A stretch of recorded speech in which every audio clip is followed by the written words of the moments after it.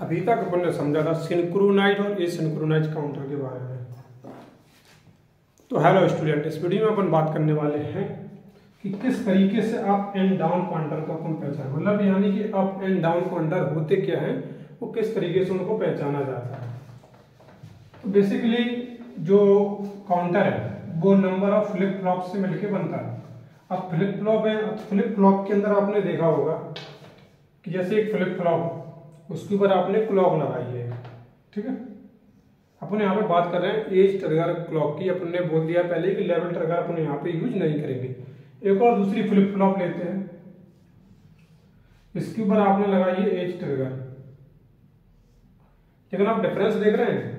यहाँ पे अगर आप देखें तो ये गोला नहीं है। ये गोला ना होने का मतलब क्या है? ये है नेगेटिव एज ट्रिगर मैं इसको सीधा डायरेक्ट साइन से लिख रहा हूँ। नेगेटिव ये ट्रिगर और ये वाली कौन सी है? ये वाली है पॉजिटिव, ये ट्रिगर। ठीक है? तो अभी तक अपन ने जो काउंटर के बारे में पढ़ा था, इसके बाद से अपन अब ये क्या पढ़ रहे हैं? Up and down counter.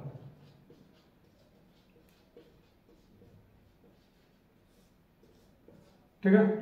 तो पॉजिटिव एज ट्रिगर ये होती है नेगेटिव एज ट्रिगर ये होती है। अब आप चाहे पॉजिटिव एज ट्रिगर लगाओ या नेगेटिव एज ट्रिगर लगाओ आउटपुट किस तरीके से आता है किसी भी फ्लिप फ्लॉप के अंदर?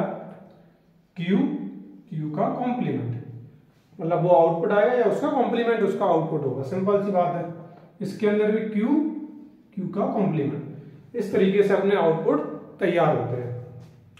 अब बात आती है कि अप एंड डाउन काउंटर को अपन किस तरीके से पहचाने?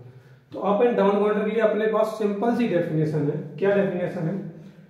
सबसे पहले अपन क्या करेंगे? इस तरीके से ये बना लेंगे। इसको बनाते हैं। ये पॉजिटिव एज ये अपना नेगेटिव एज ठीक है? इस तरीके से positive edge trigger negative edge trigger Q और क्यू का कॉम्प्लीमेंट इस तरीके से अपन ने ए आउटपुट और ए क्लॉक अब क्या करना है? अब ये देखना, इसको मान के चलो पॉजिटिव इसको मानो नेगेटिव इसको तो मानना ही है पॉजिटिव और इसको मानना है नेगेटिव ठीक है? अब मैं यहाँ पे एक पॉइंट लिखता हूँ। वो पॉइंट इसमें सबसे ज़्यादा यूज़ मतलब सबसे ज़्यादा यूजफुल पॉइंट है। ये पहचानने के लिए, समझने के लिए कि हमारा जो फ्लिप फ्लॉप है या फिर हमारा जो काउंटर है, वो अप काउंटर है या डाउन काउंटर है। तो बेसिकली इसमें एक पॉइंट रहता है कि if if same nature of clock and output. Then, our counter called down counter. वैसे तो मैं इसी डेफिनेशन लिख सकता हूँ otherwise it's call up counter लेकिन एक सेकंड डेफिनेशन लिखना एक सेफ़ हो सकता है आपके लिए भी थोड़ा समझना आसानी कर सकती है। If different nature if different nature of clock and the output of flip flop the output of flip flop यदि डिफरेंट नेचर है क्लॉक का और आउटपुट के फ्लिप फ्लॉप क्लॉक के आउटपुट का। तो हमारा जो काउंटर है then our counter called as up counter तो ये डेफिनेशन से अपन को अब क्लियरिटी आ गई होगी, किस तरीके से अपन इसको करेंगे। ए भी पॉजिटिव ए भी पॉजिटिव तो कौन सा नेचर हो गया? सेम नेचर तो ये कौन सा काउंटर में आएगा? डाउन काउंटर ए पॉजिटिव है नेगेटिव तो कौन सा हो गया? डिफरेंट नेचर हो गया। डिफरेंट नेचर हो गया तो ये कौन सा हो गया? अप काउंटर हो गया। ए नेगेटिव नेचर है पॉजिटिव नेचर तो ये कौन सा नेचर कौन सा काउंटर हो गया? अप काउंटर हो गया। ए भी नेगेटिव है ए भी नेगेटिव है तो कौन सा सेम नेचर हो गया? सेम नेचर होने के कारण कौन से काउंटर के अंदर आएँगे? डाउन काउंटर के तो बेसिकली आपको एक पूरी प्रोसेस समझ में आ गई है कि पॉजिटिव और नेगेटिव हो तो वो अप काउंटर के अंदर आता है। और नेगेटिव नेगेटिव या फिर पॉजिटिव पॉजिटिव हो तो वो डाउन काउंटर के अंदर आता है। तो अपन एक डायग्राम बना लेते हैं इसी की हेल्प से। जिससे क्या क्लियर हो जाए। अगर कभी आपको बताया गया अप एंड डाउन काउंटर को समझाइए फिर डायग्राम तो किस तरीके से समझाएँगे?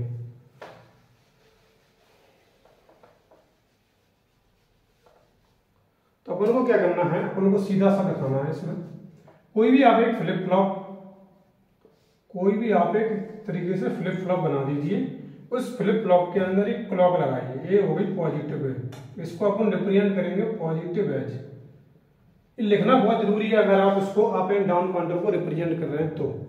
इसके बाद आप शो कराइए उसको कि जो उसका जो आउटपुट है वो क्यू है।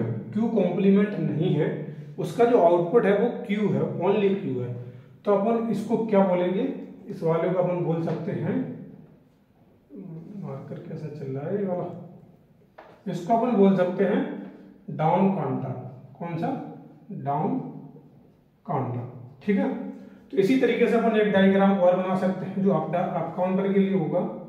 इस तरीके से अपन ने इसमें गोला लगाना भूल गया लेकिन ठीक है। ये होगा नेगेटिव एज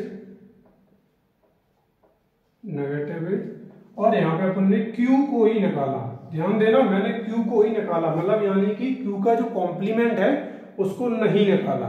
Q का जो कॉम्प्लीमेंट है उसको नहीं निकाला तो ये कौन सा हो जाएगा? ये वाला हो जाएगा अप काउंटर का डायग्राम तो बेसिकली मैंने आपको जो यहाँ पे बताया, वो मैंने इसका बताया। इस वाले के पर्सपेक्टिव से बताया, क्योंकि मैं ये चीज़ इसलिए बोल रहा हूँ क्योंकि कई बार क्या होता है कि जब एग्ज़ाम में आपको क्वेश्चन पूछा जाता है तो आपको एक क्वेश्चन को मॉडिफाई कर दिया गया। मॉडिफाई करने का मतलब यह आपसे बोल दिया गया please no make the diagram of an up and down counter with the help of complement of its output तो इस तरीके का अगर आपको क्वेश्चन आता है तो आपको क्या करना है? क्यू की जगह क्यू के कॉम्प्लीमेंट को लेना है। क्यू की जगह क्यू के कॉम्प्लीमेंट को लेना है। जैसे अपन ऐसा करेंगे तो ए वाला हमारा कौन सा बन जाएगा? अप काउंटर और ए वाला हमारा कौन सा बन जाएगा? डाउन काउंटर तो केवल आउटपुट के कॉम्प्लीमेंट लेने से और कॉम्प्लीमेंट नहीं लेने से भी इसका चेंजेस होता है। अप एंड डाउन काउंटर के अंदर चेंजेस होते हैं। तो इसलिए अगर आप इस चीज़ का ध्यान रखना थोड़ा सा ज़रूरी हो जाता है कि किस जगह पे अपन को अप काउंटर को ही लेना है किस जगह पे डाउन काउंटर को भी ले, ही लेना है। तो छोटी सी गलतियों से बचना तो एग्ज़ाम में आप अच्छे से अच्छे मार्क्स ला पाए। ठीक है तो अपन मिलते हैं नेक्स्ट वीडियो में। जब तक के लिए love you all of you और कोई सजेशन है या कोई डाउट है तो मेरे Instagram page G S simply पे आप मुझे सिंपली मैसेज कर सकते हैं, जो भी आपके डाउट है। Thank you